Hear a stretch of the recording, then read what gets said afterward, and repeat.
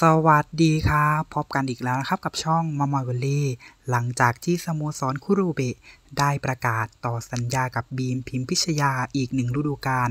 งานนี้แฟนๆญี่ปุ่น หรือว่าแฟนๆของคุโรเบะที่เป็นชาวญี่ปุ่นนะครับ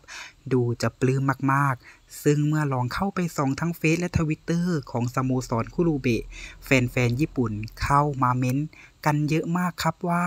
ยินดีต้อนรับบีมกลับบ้านกันรัวๆเลยนะครับ ซึ่งมีคอมเมนต์ที่น่าสนใจ เขาถึงกับบอกว่าของมันต้องมีนะครับ ก็คือคุโรเบะต้องมีบีม